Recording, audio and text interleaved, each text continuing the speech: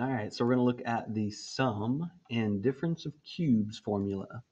So you probably remember uh, when we were talking about the uh, the difference of squares formula.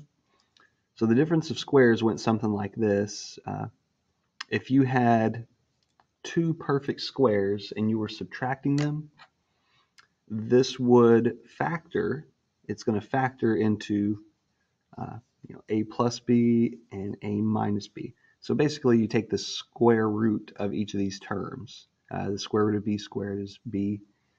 And so you could apply that to stuff like x squared minus 16. And we would write that in factored form as x minus 4 and x plus 4. Okay. So it turns out there's also one for cubes, you know, like stuff to the third power. All right. Uh, so let's go ahead and uh, get them. We're going to get them real quick. So just uh, we'll multiply this little formula out and it's going to spit back one of the formulas for it. It's going to be wonderful. All right, so I'm going to distribute uh, like crazy here. So a times a squared, this is going to give me, so this this isn't what you guys are going to be doing every time. I'm, I'm getting the formula is what I'm doing right now, showing you where the formula comes from. All right, and then we'll do a times ab, so it's negative a squared b, and then a times b squared. That's going to be a positive a b squared. So these are not like terms. The exponents are different. And then we got to do b times a squared. So it's a positive, and I'll write it in the same order. a squared b, so like that one and that one. Those are going to cancel out. And then b times negative AB. That'll be a negative AB squared. So that one and that one can cancel out. Nice. And then the last one is B times B squared. And oh, sorry. And that will be positive B to the third power. All right, so all this stuff in the middle ends up canceling, and that's wonderful. So what that tells us is that A cubed plus b cubed, the sum of cubes, all right? All right, that's going to factor. So this thing equals this thing right here. So the way we're going to use it is we're going to take a binomial expression, uh, something that's uh, you you have something to the third power plus something to the third power, and we're going to use this to write it in factored form. That's how we're going to be using it.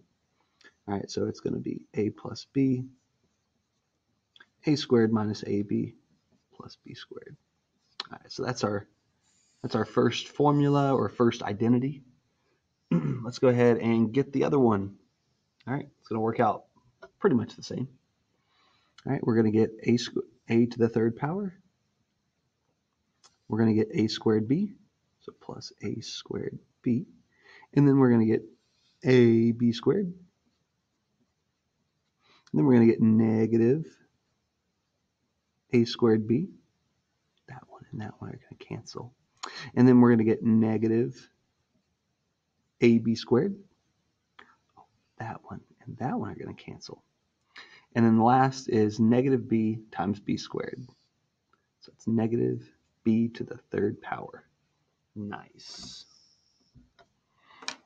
All right, so that tells us that uh, a cubed minus b cubed, which is the difference of cubes formula. All right, that's going to equal a minus b times a squared plus ab. I'll show you in the, the next video how to apply it, but I just want to point out a couple of things here. All right, so we got our two formulas. so notice on the like the right half of the formula, all right, there's always just going to be one minus sign over here. All right, this is going to help you a little bit as far as remembering it. So in the sum of cubes formula, uh, the, the binomial factor, the first one is a plus b, and then down here it's a minus b.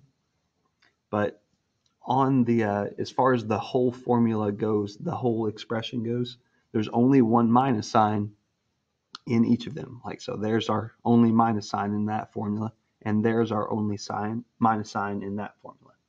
So that's kind of supposed to help you remember uh, you know, the difference in the two rather than get them all confused. Uh, so the other thing to point out here is that this is typically considered a linear factor because it's you know a and b to the first power, and this one is considered a quadratic factor. Now going to say this like most of the time, and I'm sure there's examples out there where this doesn't happen, but most of the time you do not have to bother trying to factor this. Right? Uh, once you get you know once you get this part right here, you can leave it.